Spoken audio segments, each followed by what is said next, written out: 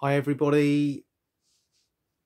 What I wanted to do was just to wrap up um, the completion of my O Group project.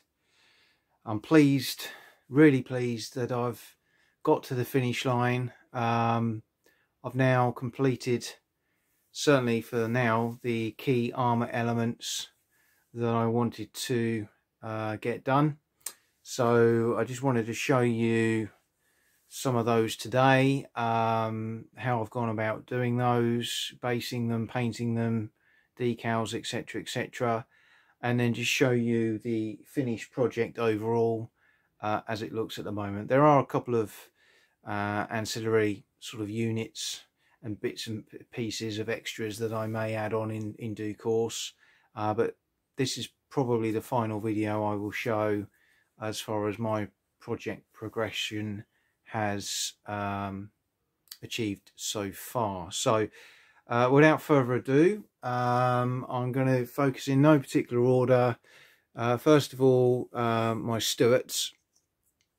So um, I used uh, the Army Painter British Armour Green uh, spray as my undercoat and uh, then I did a wash um, coupled with Deck Tan dry brush.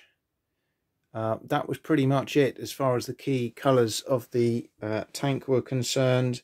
And then um, I put on some of the Vallejo pigments.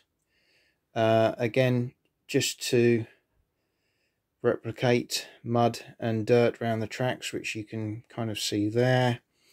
Um, then I used some of the decals from Pendraken, um, the 610mm uh, decals. So you've got the uh, British sort of allied uh, sign there used pre D-Day because these are meant to represent Italian campaign units. Um, and I've also used, uh, you can probably just see the yellow triangle there. Uh, again, um, unit markings on the on the turrets there. In terms of the basing, uh, the usual basing approach with the Baccus 6mm basing system, um, followed by static grass uh, sprinkled on and some clump foliage. Uh, really as simple as that as far as finishing the base. And then I've just edged the base uh, with black, um, certainly for these units, uh, because in the game um, they won't be particular numbers or have particular unit designations as, as far as I can see. So that's the Stuarts, uh, which I've done two. They come in a group of two uh, if I want to pay the points. I've done an M10 um, uh, as far as the British M10. Um, again, this the 76 millimeter as opposed to the 17 pounder. Um, again, exactly the same painting approach. Um, the mud on the tracks, the uh, decals, and the basing exactly the same. So really pleased with how that's come out. Then we've got Churchill's. Um, I believe from memory these were the Churchill 5s with the 6 pounder uh, gun. So again, uh, we're not quite got to the uh, to the realms of the more advanced uh, guns on these tanks at this point.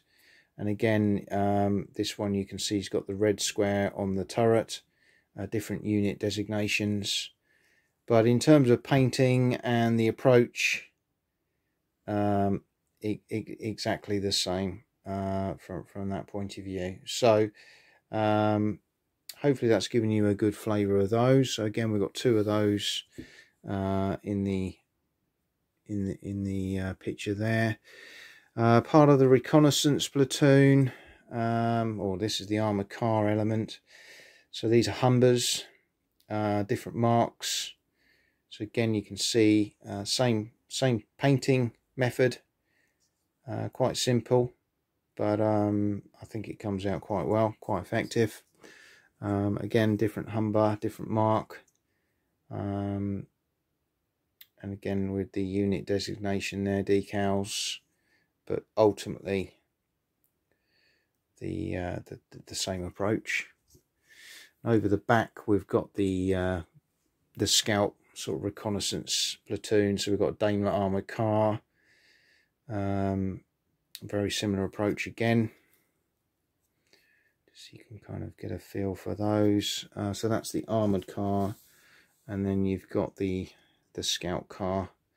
Um, exactly the same there. Okay. So finally at the back we've got the Shermans. So I've done two. Uh, these are basic uh, M4A2s I think with the 75 millimeter. Um, again these were kind of the main ones being used at this point. The 76s hadn't really come into fruition. Um, I didn't want to kind of tip over into that. Um, but painting, basing, muddying of tracks exactly as you say. I've got two of those. And I've got two exactly the same mark um, with stowage, um, etc. on the outside. So um, again, this is the Pendraken models. They come with all of this already included. Um, obviously, there's not very many places to put the marking or decals on because they're covered up. So I've just put, um, as I've seen in some photographs of the period, that they had um, country of origin markings on the front there. Um, but uh, ultimately two of those as well. So that, as far as O group is concerned, is sufficient uh, armor options for the period I'm doing uh, for the average game. I say I may add a few little bits and pieces here and there. Um, but I'll pop back in a moment with everything set up uh, just to show you how it looks and uh, just how I've done unit designations for the infantry. So uh, this is the final overview of everything uh, painted up and displayed. So we've got the three companies of the battalion uh, with their individual um, company commanders uh, each company has three platoons uh, of three sections.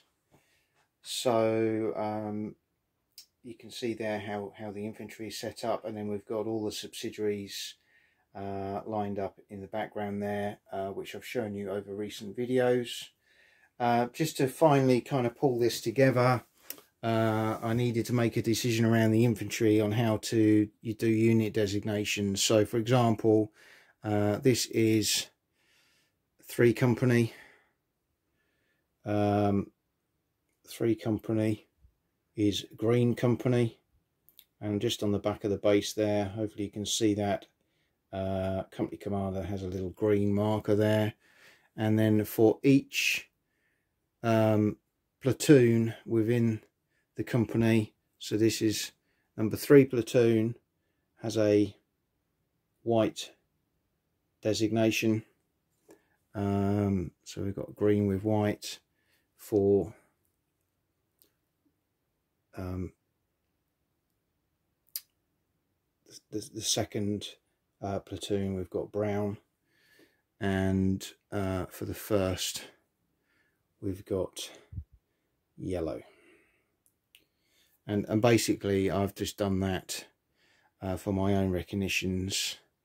Um, so you can see blue brown there. Um, blue yellow. And this one should be blue white. Um, and then for the other battalion we've used red.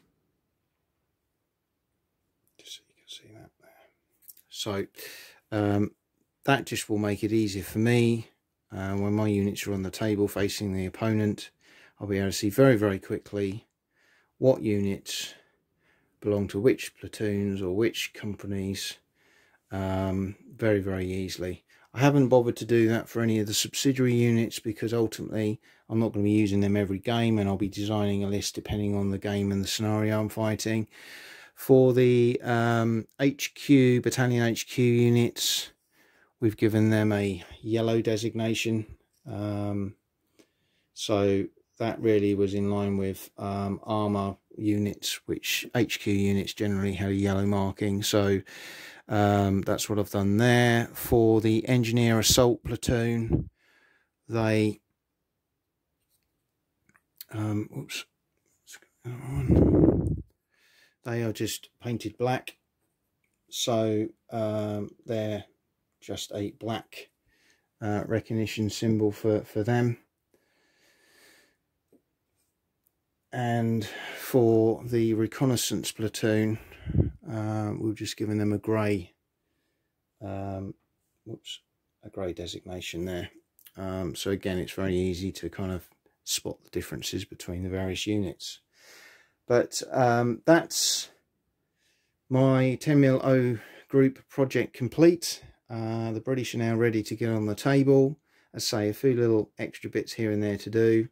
Uh, but I hope, hope you've enjoyed these videos, giving a little insight into my journey in uh, painting what has been um, my second 10 stroke 12 mil um, army. Uh, I will be showcasing another one soon, uh, my Teuton army uh, which I had some while now, which was one of my first ones I did a long time ago. Uh, but this certainly is my first foray into 10mm World War II. I uh, hope you've enjoyed the video and I'll see you again soon.